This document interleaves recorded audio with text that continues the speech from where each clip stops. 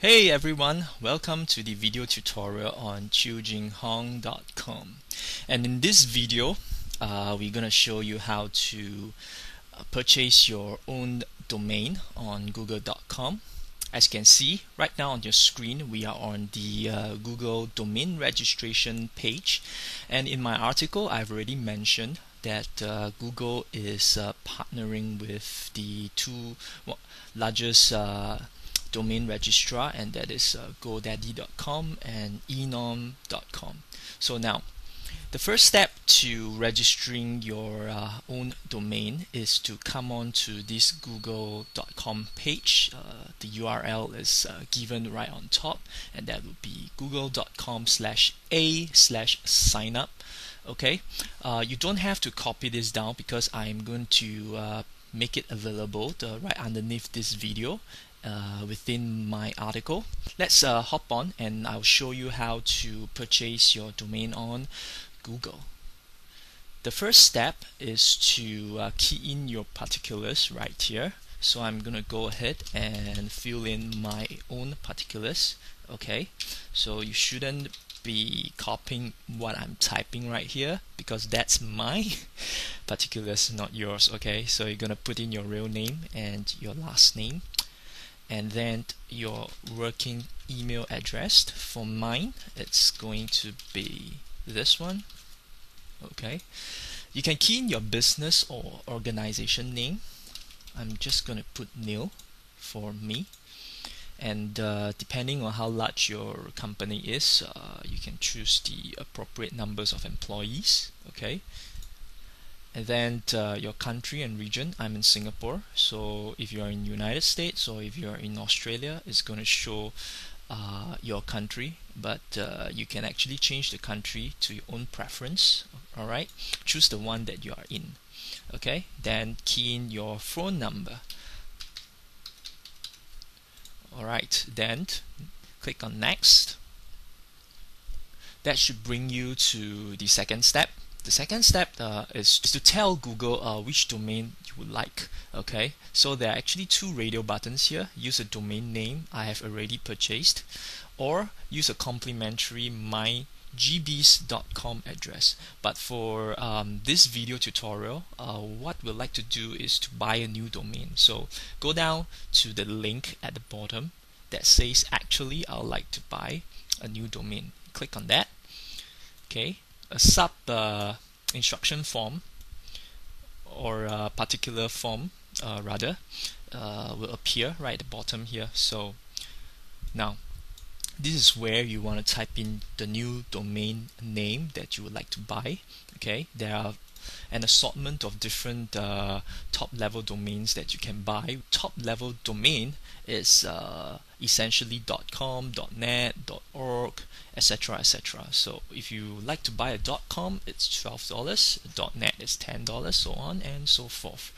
Okay, so I'm gonna stick with uh, .com and uh, before this video tutorial I have uh, determined my new domain so I'm to put it in here so that's my new domain I would like to buy okay next uh, click on check availability just to make sure that it is available. If it's not it's going to tell you and you got to pick another one okay?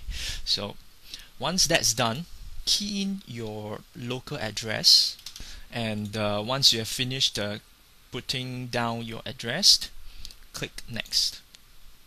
That will bring you to step 3 alright? Now in step 3 they require you to uh, put in your username as well as the uh, corresponding password for your user username.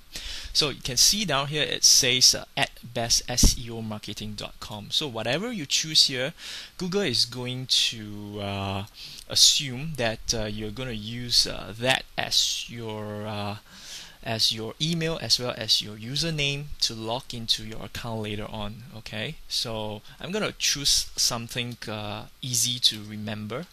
And next I'll pick a password. So then solve the CAPTCHA here.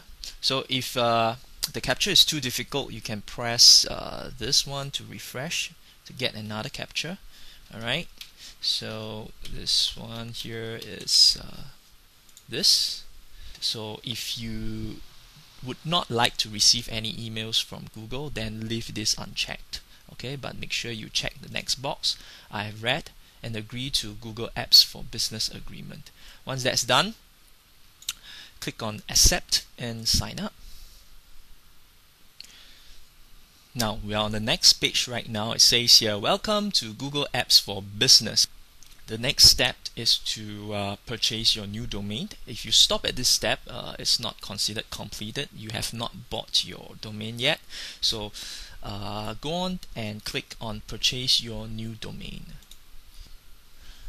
Okay, after you have uh, click on the purchase a new domain, Google will bring you to this page and this is where you need to sign in using your username. So in my case, that would be support and then key in your password and hit on sign in. You'll be taken to um, this page here where it says purchase domain registration. So we just have to follow the steps uh, one by one okay? I'm gonna walk you through step by step. So the first thing here is uh, select your country which is pre-selected for me and uh, it's Singapore since I'm staying in Singapore. And the currency here you can actually choose um, euros or USD uh, I'm gonna choose USD because um, it's actually cheaper for me. So I'm gonna bring you to a page uh, to do an online calculation uh, from USD to Singapore dollars and euros okay I have done this uh, beforehand as you can see that 10 euros alright actually converts to 16 Sing dollars okay Singapore dollars. So for United States uh, that would be US dollars okay. It's actually 12 US dollars. So that's actually 14 dollars 14 Singapore dollars.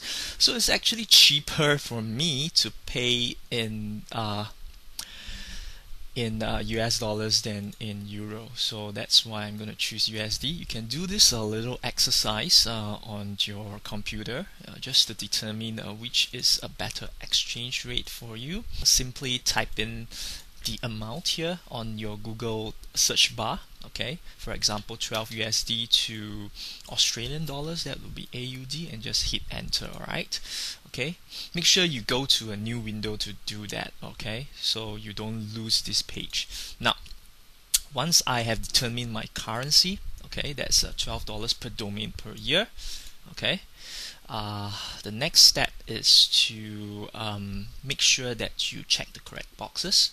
So automatically renew my registration each year. Yes okay I do not want to have the hassle of uh, logging in every year and to to make my payment. So when you have this checked it will automatically deduct the payment so you don't have to worry about it and uh, and remember the dates um, of the next uh, time you need to log in to make payment okay? Now this is the one that uh, I've been talking about in my article that uh, that I mentioned about the private Whois, if you remember. And it says right here keep my registration information unlisted. Do not make it available in the Whois directory unless required. What this means is that all the personal information is not going to show up publicly on the Whois page, okay, or the Whois directory. So if you don't mind having your site showing your name, then just simply uncheck it. For me, I'm gonna keep it checked, okay, and it's free uh, every year. You just need to pay the twelve uh, dollars um, yearly subscription fee okay? So registration is powered by like I said that uh, Google has partnered with uh, enom and GoDaddy. So you can choose either one. Okay? It really doesn't matter because both of them are really quite uh, popular and reputable. But I'm just gonna go with Go GoDaddy in this case okay? So then check uh, this button alright? And says here I have read the GoDaddy Universal Terms and Services, you can click on this link and make sure you read through all the terms and, terms and services. Then finally, click on Continue. okay so in step two it is going to review your purchase everything looks correct so next you're going to click on accept and continue so once you are in this page, you can see that uh, Google is ask, asking you to confirm your business information and your primary billing contact. Okay, so this uh, just make sure that uh, you have keyed everything correctly. If you're happy with the results, click on continue. Next, you can choose what you want to pay with. Currently, um, the only method I can pay with is with credit cards. Okay you can see that uh, they accept uh, most major credit cards. So I'm gonna key in my credit card details right here alright? Okay and once uh, you have keyed in all your particulars uh, go on down to click on submit and activate my account okay when you click on the button uh, Google is going to take some time to load to the next page. So um, do not click on back or any other buttons uh, during that time. Uh, just wait patiently until it shows you this page that you're seeing right now in front of you. What you see down here is that Google is telling you that uh, it's in the process of um, of processing your payment information alright? So once that's done you can actually start to access all your uh, domain information. But right now uh, we can't. So uh, all you have to do is to uh, keep this page alright? Or you can log out and then uh, go for a coffee or something. And then in about uh, two hours time we'll come back and take a look at the website alright Hey, welcome back. So now we are right back at the login screen. In most cases, you will likely be logged out and you need to come back to your uh, login page. Now, the login page is really, okay, I'm going to show you here. It's uh, going to be www.google.com slash a slash cpanel slash, all right, your domain name, okay? So key that into your web browser and that should bring you back to the correct login page. Now, you're going to key in your username here and then the password. Okay, and then hit on sign in. Oops. Okay, once you have done that, uh, it will bring you back to the dashboard. As you can see, the uh, pending status no longer appears. And uh, right now, you have full access to your domain. Okay so uh, that's the end of our tutorial and uh, in the next tutorial lesson number three I'm going to show you how to set up a web host and subsequently link your domain uh, to your web host. Okay so uh, that will be all for now. So hope you learned something. Talk to you soon. Bye for now